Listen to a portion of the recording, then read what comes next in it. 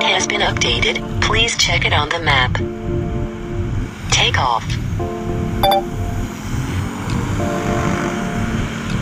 Bismillahirrahmanirrahim Assalamualaikum warahmatullahi wabarakatuh Bertemu lagi di Family Channel Apa kabar sobat keluarga semuanya Mudah-mudahan sehat dan sukses selalu Hari ini di hari Sabtu 15 April 2023 Atau uh, di hari ke-24 Ramadan dan Hamin 2 sebelum libur mudik lebaran Kita akan saksikan dulu bagaimana percepatan pembangunan Tol Cijago 3 ini untuk mengejar target Mei 2023 untuk jalur main route-nya.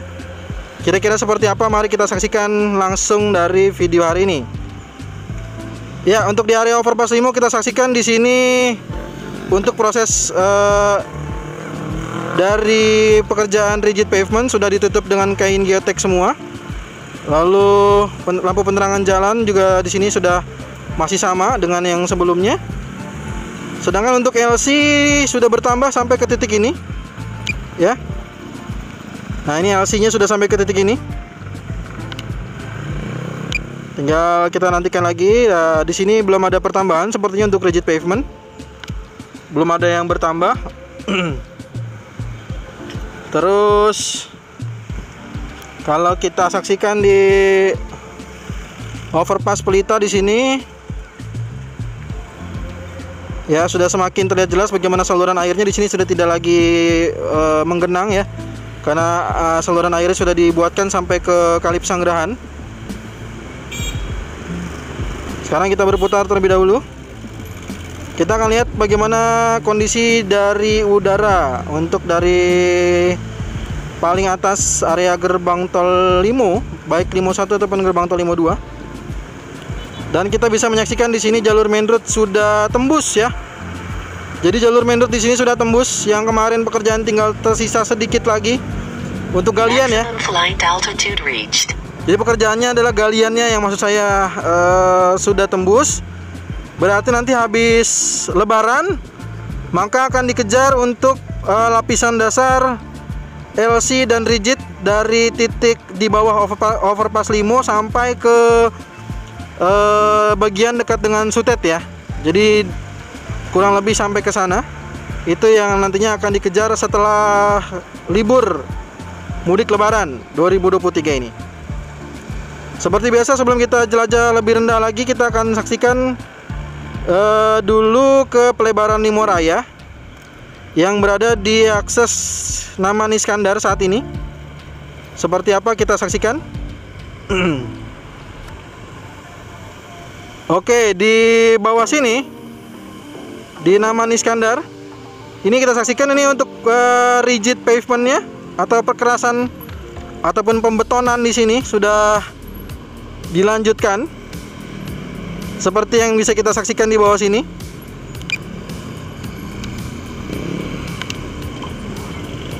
Ya. Kita saksikan di sini sedang proses untuk pembetonan Nah, di sini karena di jalur baru ini masih harus bergantian.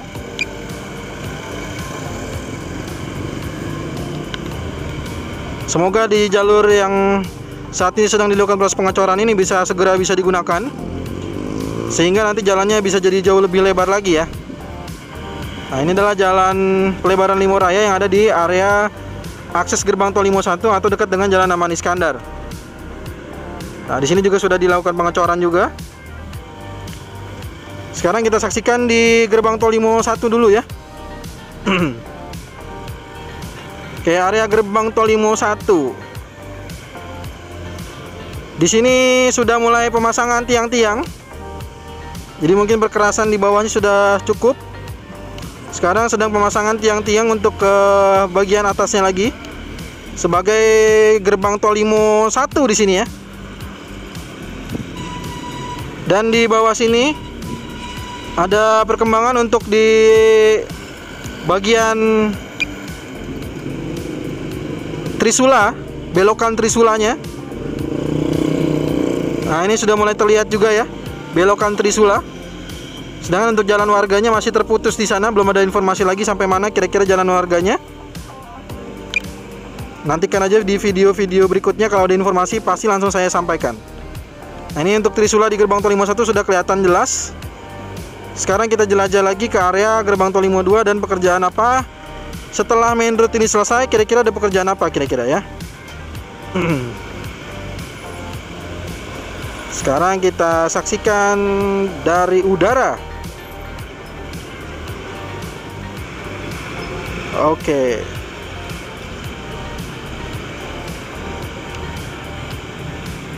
Ya, di bawah sini sepertinya emang masih setelah lebaran juga untuk di jalur overpass Limo ini.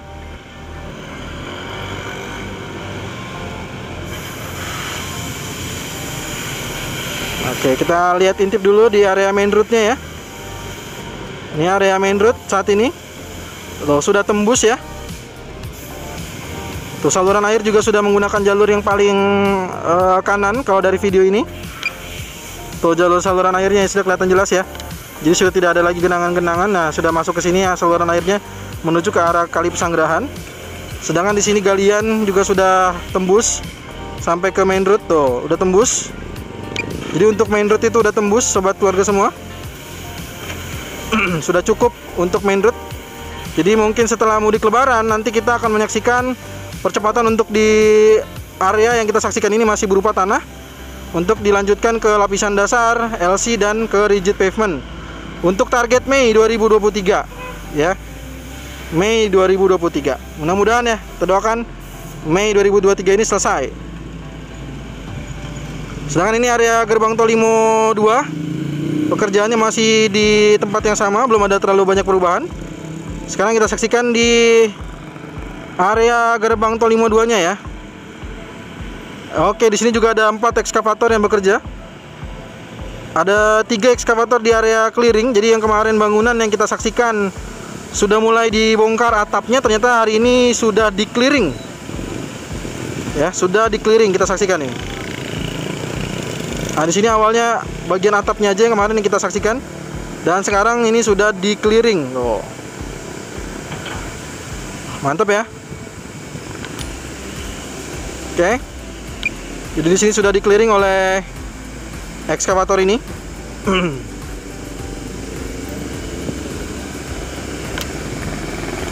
Sedangkan di bangunan ini di area ini masih banyak yang menantikan pembayaran juga. Sekarang kita lanjutkan. Ini adalah area gerbang tol Limo 2. Oh, ini udah rigid kayaknya nih ya. Rigidnya sampai mana nih kira-kira rigid nih? Oh, rigidnya sampai sini doang. Ini rigid udah sampai sini nih. Yang sudah dikasih kain geotex ya, rigid ya. Ini adalah area gerbang tol Limo 2 nih. Ini rigid manual namanya nih ya. Tidak pakai alat gun. Ini udah sampai setitik ini sejauh ini. mantap ya kita lanjutkan kita lanjutkan. Ini area pekerjaan berikutnya di ekskavator di area sutet. Ada terpantau 1 2 3 4 5 ya. 5 ekskavator yang saat ini. Kalau tadi saat live streaming ada 6 sekarang ada 5 ekskavator. Nah di bawah sini terus dilakukan proses penggalian. Di sini juga udah mulai ada pembentukan trisula dari gerbang tol 52 Tuh, di sini ada motor grader juga. Sedangkan di area jembatan Pesanggerahan sudah pemasangan lampu penerangan jalan ya. Sudah ada lampu penerangan jalan. Ini kabel-kabel sutet ini yang saya bilang makanya harus hati-hati. Kita coba tinggikan dulu sebentar untuk melihat area di jembatan Pesanggerahan. Ya, jadi lampu-lampunya sudah terpasang ya sobat Google semua ya. Tuh, lampu penerangan jalannya sudah terpasang tinggal pengaspalannya dilanjutkan oke mantap ya.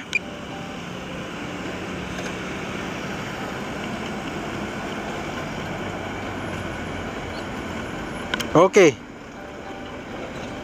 Jadi ini jalur yang saat ini kita saksikan yang sudah tembus untuk jalur main road Oh sebentar kita perlu rendah dulu untuk melihat di area sutet yang sisi kanan ya. Sebelum kita balik ke arah Simansun Krukut kita lihat dulu bagaimana progres galian yang ada di sini. Ya seperti inilah kurang lebihnya pekerjaan ada 5 ekskavator di area eh, 108 titik sutet. Untuk di apa namanya bore pile ya 108 titik penyangga. Ini untuk membentukkan jalur main roadnya sudah makin terlihat jelas bahwa tidak sudah jelas sekali Nah, di sini nanti akan seperti apa? Akan apakah akan ada pemasangan-pemasangan turap dan lain sebagainya? Nanti kita saksikan lagi aja ya. Tuh, yang jelas sudah sampai sejauh ini.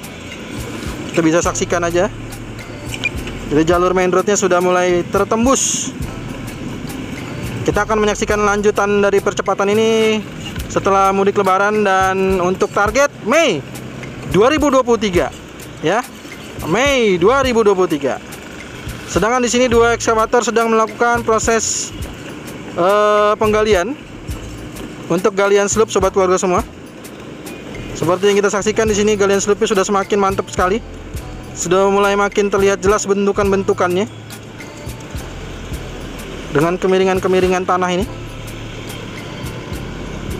Ya, ini adalah bagian tanah yang sudah tembus, sudah selesai. Galian tanah main roadnya sudah selesai. Dan kita sudah memasuki Hamin 2 libur ya. Hamin 2 libur lebaran dan setelah itu barulah kita akan ketemu lagi di setelah lebaran. Liburnya sekitar 7 sampai 9 harian informasinya. Dan setelah itu kita akan mengejar kembali untuk difungsionalkan pada bulan Mei 2023 Oke, sekarang kita menyaksikan ke arah Simalsun Krukut dulu. Oh, di sini nih rigidnya nih nambahinnya ya. Di bagian yang kecil ini nih tuh. Ya, nambahinnya di sini dia ternyata pertambahannya nih tuh yang kecil ke area bahu dalam ya. Yang ke arah bagian median jalan tol. Ini yang didahulukan ternyata. Pertambahan rigidnya di situ. Sedangkan di bagian tengah di sini ada uh, wheel excavator dan ada alat Wirgen ini belum.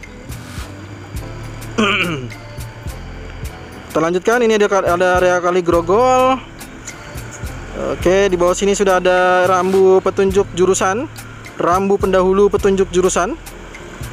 Untuk mengetahui kira-kira mau ke mana arahnya, maka bisa membaca rambu petunjuk jurusan di sana. Oke, sinyal sudah mulai hilang. Ya, di sini kita saksikan untuk pemasangan backisting pada bagian median jalan tol. Dan untuk lapisan dasarnya ini udah tembus. Ya, berarti fix tan uh, lapisan tanahnya itu tinggal di bagian overpass limo sampai ke bagian sutet ya. Sedangkan untuk di sini sebagian sudah LC dan sebagian sudah di lapisan dasar yang artinya bagian tanah lapisan bagian tanah itu hanya tinggal di area overpass limo sampai ke bagian sutet. Tinggal itu aja. Jadi setelah libur mudik lebaran ini akan dilanjutkan untuk percepatannya dan target Mei 2023 mantap. Wih keren banget ya. Inilah percepatan yang dilakukan oleh kontraktor pelaksana di area simpang susun krukut LC sudah sudah sebagian sudah naik ke LC, sebagian sudah naik di lapisan dasar. Dan ini sudah pembentukan juga kemiringan tanahnya. Dan inilah simpang susun krukut ya. Hari ini Maximum flight altitude reached. memantau di simpang susun krukut tidak ada kepadatan. Tuh ya, tidak ada kepadatan di gerbang tol Krukut 5. Begitu juga di gerbang tol Krukut 3. Setelah uh, Instagramnya PUPR menyampaikan bahwa Cijago 3B dicoret dari daftar fungsional, tapi ada nama Ruas Sawangan. Tapi sampai di hari ini Ruas Sawangan belum dibuka. Kita nggak tahu kapankah dibuka, apakah menunggu tanggal 19 atau seperti apa nantinya kita nantikan aja e, kabar dari Ruas Sawangan yang setelah Cijago 3B ini dicoret, dimasukkanlah daftar yang ruas Sawangan sebagai yang akan dioperasikan pada mudik lebaran. Kita nantikan ya informasi berikutnya. Demikian informasi yang bisa saya sampaikan. Mohon maaf jika ada kekurangan, jika ada kesalahan. Saran masukan jangan sungkan tuliskan di kolom komentar ya. Terus terima kasih untuk sobat keluarga semua yang sudah mendukung, mensupport channel ini dengan menekan tombol subscribe, like dan juga share-nya. Terima kasih bagi yang sudah mengirimkan super chat, super thank, super stikernya. Semoga apa yang sudah disampaikan atau diberikan kepada channel ini Allah berikan lagi rezeki yang berlimpah penuh berkah untuk sobat keluarga semuanya. Sehat dan sukses selalu. Amin dua sebelum libur lebaran. Family Channel langsung mengabarkan dari ruas tol Cijago 3B. Terima kasih banyak. Assalamualaikum warahmatullahi wabarakatuh.